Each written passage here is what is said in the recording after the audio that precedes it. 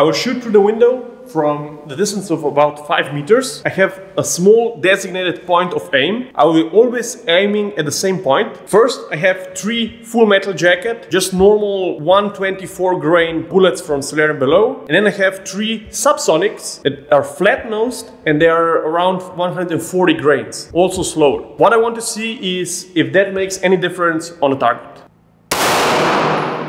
That's, that's interesting. We have three rounds that went higher than the point of aim, and we have three rounds that went lower than the point of aim. One thing is for certain, the person inside this car would be dead. Now let's try a couple of XRG defense rounds, also from Sellier & Bellot. These are actually quite light with only 100 grains, probably have higher velocity, and they are solid projectiles, so it's just a copper bullet.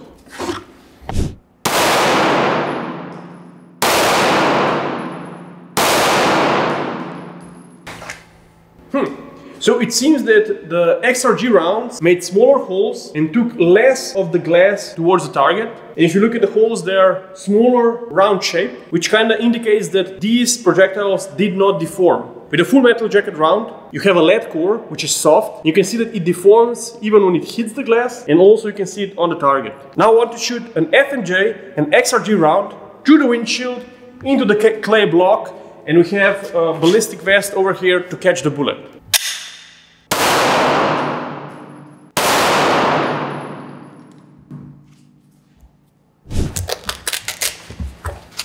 This is the full metal jacket. The jacket separated, it was actually outside of the vest.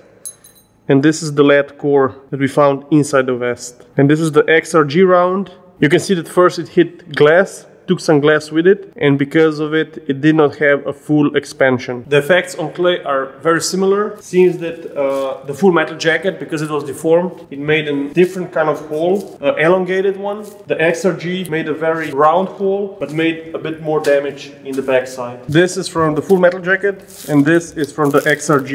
But essentially this is not ballistic clay so it's just for visual representation. I just thought about something what if we reverse the situation? So I'm inside the car and I have to shoot through the front window to my target six meters over there. Again, the black dot is my point of aim. Let's see where the point of impact is. If you shoot outside of your car at 6 meters, the bullet will deviate so much that you can miss your target. My hypothesis is that all of the shots went over the target and did not hit it. So how I can test this? I will shoot from the same position, but I will aim at the lower part of the target to see if we can hit it. This is my point of aim. We have one shot here, one shot here, one shot here. What? Okay. Now I want to try the subsonics and the XRGs. Three each, and I will still aim at the center of the target to see if we can get any hits.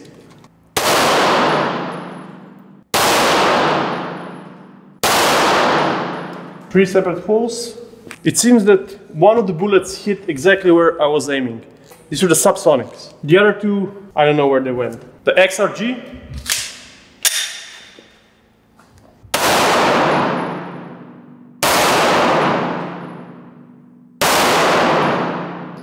Okay, that's also a very surprising result. I was aiming directly here and we have three hits on the target with the XRG. I remember the conversation with one of the guys from Sellier & Bellot, where they said that the XRG was optimized to also shoot through windshields and so on.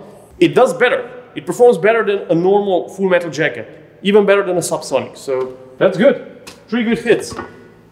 What we're testing here is the capability of penetration through the windshield and also the deflection that we get. So I was trying to aim at the undamaged part of the windshield. That's why you have multiple holes. But if you are in a situation where you have to shoot outside or inside the windshield, you take your first shot at a target and then try to shoot at the same point every time.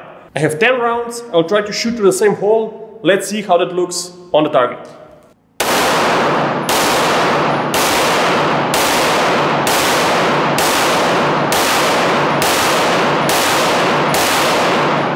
Would say that's good. We have three rounds that you can see obvious deflection. You can also see irregular hole, but These ones over here, that's a good grouping. It is a bit high and to the left, I'm not sure why, but solid hits. All 10 rounds are in the target, which is surprising.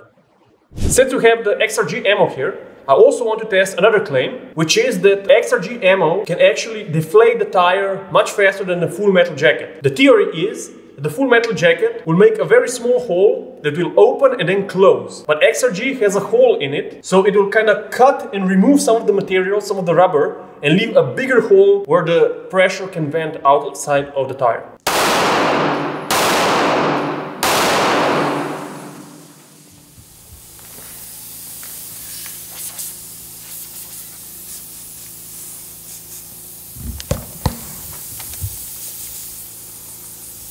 One eternity later. Yeah, I think this is it.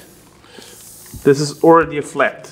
Okay, so what's interesting to see is that these are the entry holes. You can barely see them, but essentially the full metal jacket bounced from the rim and made an exit hole over here and over here on the side. And these were leaking the most. So essentially, if you hit the tire with the FMJ just straight on or straight through, it will barely leak.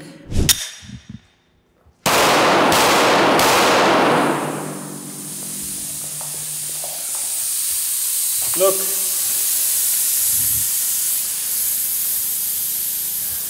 Yeah, this is immediate result. what? This was fast.